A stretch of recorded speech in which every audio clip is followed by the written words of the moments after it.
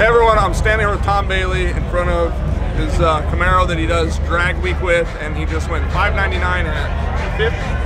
Yep, correct. So uh, you drove. What was the mileage on drag week? Uh, it was like It is. 750. About 750 miles. Drove it, and then on the last pass of the last day, the whole event pretty much, right? Went Yeah. 5.99 at 250. Yeah, we went 607 and then we made an adjustment in the tune up and then we came back up and then they're like, hey, like, we're gonna let you go last after everything. So it was kind of like Cool. World That Series, bottom all. of the ninth, two outs, two strikes. That's and, awesome. But Made it happen. Um, so how many? You've done drag week for many years, right? yeah, I think I've done it nine times. And then you had what was the first car you did in it? I know the only two cars I know of is this one and then uh, six second. Yeah, uh, 1.0 orange or whatever. Yeah, 1.0. got, Yeah. uh, Indian Burial ground car was another 69 Camaro. Okay. So it was uh, um, like an eight second car. So, Okay. and that was the first one I did. That the first year, first year, second year, third year was then with SICK 1.0. Oh, okay. So So it's been a progression of technology, cars, kind of the whole event and everything, right? yeah, trial and error. Yep. No doubt. So um, now this car has a different engine in it, kind of for yep. this year that you guys you've worked with Steve Morris on. Correct. Yep. And- yeah, an SMX or whatever, which we've done a couple different renditions of engines in this car or whatever. Sure. But then uh, to just try yes. to figure out the longevity and that type of thing. Yeah, well, it got down to like the other, we had 615 cubic inches or whatever. It just got down to where we need to run higher RPM than 615 can run. So this is a 526. Okay, So, cool. And, uh, and basically, I mean, just a water jacketed platform that, I mean, it has the technology of everything that we've learned over the years as far as lifter design, rocker arm design, everything. And I mean, we drive it on the street and we race it the same way. I mean, we don't take anything off the car. So we just got done with SEMA here. Uh, I fired the car up in the booth and drove it over here to the Ignite after party, and it's, I mean, you've driven it a bunch. What, what are you kind of doing between tracks or to change it over from racing to um, street duty? Uh, there's a couple valves we have to change and just flip the tune up or whatever because we race on alcohol at the track Sure. and then we drive on gasoline. It's got two fuel cells, the one in the back for the street and then the one in the front for the track. Um, and then two different sets of fuel injectors. Nope, it runs three sets of injectors and we just have bleed valves so we bleed out the gas and Okay. switch over to alcohol. Cool. But we race on three sets because um, we use an OEM style injector and they don't Okay. make those big enough Sure. for what we do. And like we've ran two. So you're high impedance on all of the. Correct. Okay. Yep. Cool. So that's it. That's interesting because that's what a lot of people battle, right? Is the the big injectors will do fine on alcohol, but they won't idle, especially if you go to gasoline. Yeah, the others, the other that we found is just longevity. I mean, that they just basically Okay. end up rebuilding get one stick open or whatever. I mean, they're just not, they're not designed for the duty cycle that the street use gets. Okay, I So- see. So then it, you're working them in an area they're not. They're not happy. Yeah. So on some of the street stuff, is the cooling an issue with the car, or does it do super well? Or you No, also tow a fine. trailer behind it, right? Yep. No, it does fine. It's got a big ass radiator in it. Yeah. so, If you guys have ever seen pictures of the car, the radiator is gigantic in the front of it. So um, you take the grill out, in and out for. Yeah, there's a cover. Basically, there's just a block arc cover Yep. to, for the air or whatever going down the track. That's the like the stance right now or whatever is in street stance. Sure. So it's about three inches higher than it will be on the track. All, all the way So- across the whole correct. car? Okay. Yep. So what do you do to get the So- extra three inches? Uh, there's adjusters on the front cups, and we just run those out.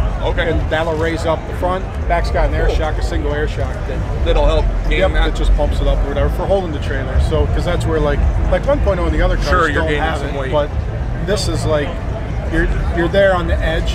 So Yeah. therefore, like everything has to be exactly right. So you got to try and save the shocks as much as possible. yeah, yeah. So- You're you're not wanting to wear out all your good race equipment driving down the road and everything else. Now the, the windows go up and down. Correct. In Yep, them, power windows. Yep. and then you these are the same doors you run Yep. all the time. You don't change doors or anything. Yeah, Yeah, that's really there's cool. a recess in here, so when the window goes up, it goes right inside there. But the car So- was never built like the body originally didn't have that, right? So that's all custom to. Well, we did the body special for, For what we were doing. I so yeah, So it's they- everything's a one-off like mold design or whatever cool. for everything. So Really good. And then um, you had a Pro Charger on the car before this one, right? so well, yeah, the first car, whatever, the Indian Burial Ground car had a Pro Charger. Okay. So and, then, then- when I went to 1.0, when I got 1.0 from Denny Terzic, they had it ran as a Pro Charge car. Oh, so okay. the engine, the drivetrain I already had was in my Indian Burial Ground car, but it couldn't go. Um, it was only certain to go 750. I see. So and that drivetrain could go faster. So we were going to build another car, and so it just so happened that that one was available, and it's like so that cut out two years of the build process. Sure.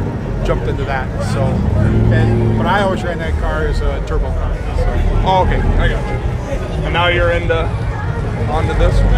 yep. What else do you do with the car?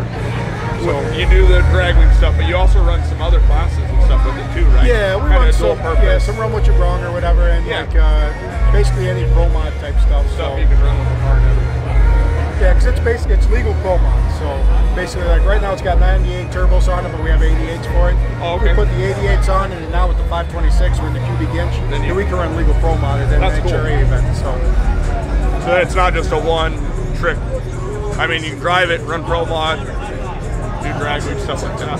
Correct. You uh, you went 599. All that worked out well. Or is there any plans on changing it? Try to go quicker. Looking forward. Yeah, I mean the combination. I mean the first with this combination, the first eighth mile pass, let alone quarter mile pass, was day one of drag week. So that very I mean, we had it in like yeah three weeks, three weeks before that we were able to do some testing in Indy or whatever. But I mean for an NHRA event, but we got one pass. Sure. And uh, so we had just we're working on the 300 foot until the first day of drag week, and then it's like okay, well now we got to go eighth and quarter at the same time. So So drag week per day was just testing and learning the whole combo anyway.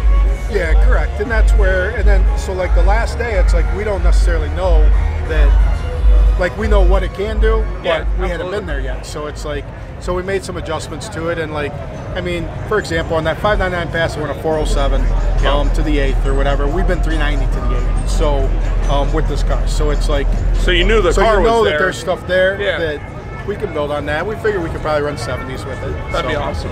But now that's pushing it to go 70s or living all week. It's a Not so Not much. so I mean, much? basically the way everything's been designed is, I mean, it's pretty reliable. It's pretty, pretty good to where we're not leaning on it too hard or whatever doing that. Sure. So, So that's you've just kind of built the whole car to do that, but also live within its means more or less of where you're trying to go with it. correct.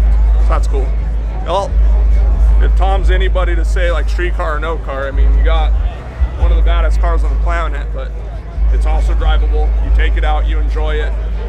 Correct. Yeah, I mean, it's it's a street legal pro mod. I mean, Yeah. it kind of is what it is. yeah, It's yeah. on the edge. It's on the ultimate side of it. I mean, and you earn it throughout the week. Driving, it's not the most comfortable thing, I'm sure, to drive.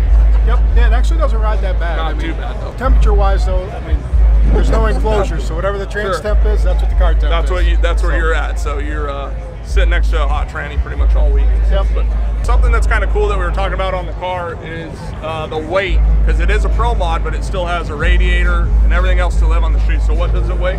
So 2850. 2850 is the total weight with the whole car. That's a billet block, right, and everything. Correct, yep. But uh, and a pro mod that runs the events is 2600. and weigh 2600 so it's a little on the heavier side but not not crazy heavy for what it is i appreciate your time and talking about it it's a pretty cool car if anybody hasn't followed it make sure you guys check it out as well thanks for watching that video thanks to tom for giving the time to talk about six second 2.0 that is now a 599 250 mile an hour street car if you'd like to see the pass at the end of drag week uh, i'll go ahead and link the 1320 video below and go to about the 18 minute mark and you can see what happened there at the end of drag week see the pass and all of that stuff. If you'd like to follow more on tom's car i'll go ahead and link his uh, social media handles here on facebook and instagram. And uh, again thank you guys for watching another video. If you would please hit that subscribe button and we'll see you next time